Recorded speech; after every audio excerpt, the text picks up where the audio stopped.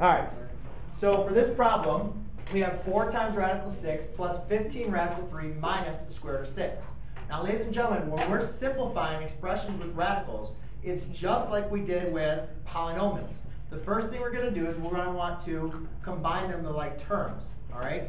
Now, remember, when we have them in like terms, when we were dealing with polynomials, we were dealing with numbers or variables that had a um, integer as their exponent. So we had like z squared, right, and x to the fourth power. We could combine all those.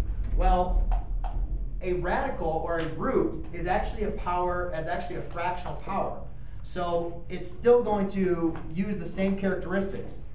What I mean is I can combine the 4 radical 6 minus radical 6 plus 15 radical 3. Okay? So therefore, I can combine these two. Now, I have 4 times radical 6 minus radical 6 is going to give me 3 radical 6 plus 15 radical 3. Alright, now here's a big misconception. A lot of students want to say, well, why isn't it this? Why isn't it just radical 6 minus 6? Well, guys, when you use the same example, you can think of these just as variables again. Right? It's the exact same thing. They're just like any other base with an exponent. What happens when you have 4x minus x? You have now have 3x. Okay, so that's why that is not true. Yes? Wouldn't it be five, six?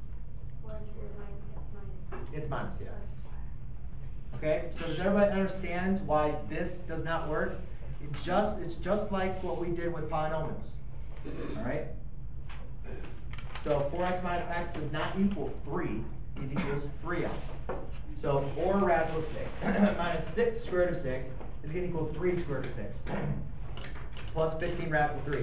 I cannot combine these because they're not like terms. It's the same thing, like saying 3x plus 15y. We can't combine these, can we? No. They don't have the same base. So you can't combine these at all either. Okay? So that's how you simplify that expression.